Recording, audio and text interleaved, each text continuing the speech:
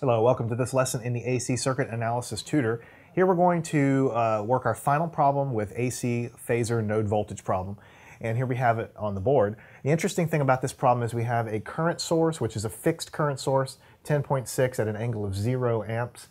Um, and uh, which of course is a phasor representation, so this is an AC signal. And then you have a, um, a dependent uh, voltage source over here, which the value of which is 20 times Ix, where Ix is, is the current flowing through this uh, part of the circuit up there.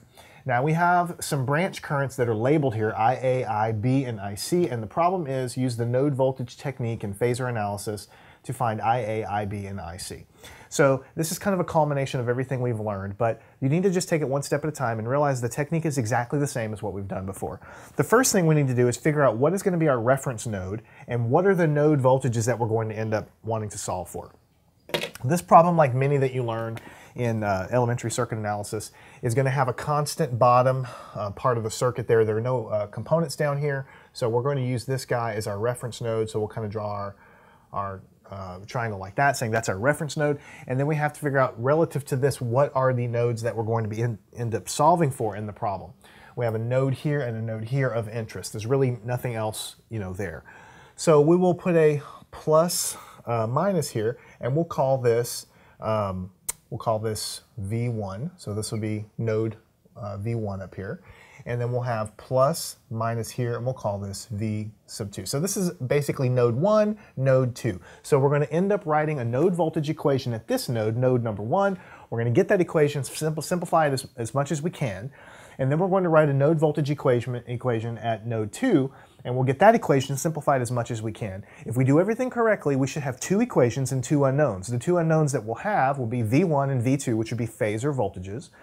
Now that's not the answer, okay? Of course we want these currents, but once you have these node voltages, you can find any of these currents through the legs, through the branches there. And we'll get, we'll get there as we solve the problem. First, use the node voltage technique to find these node voltages, and then we'll deal with finding the currents that are uh, kind of running around the circuit as we go.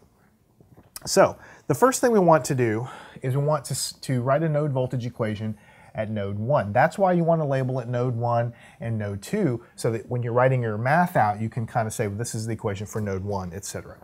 Well, here at node number 1, we have current going in, so this is going to be a negative 10.6 at an angle of 0 degrees. That's phasor uh, current going in. It's negative because it's going into the node.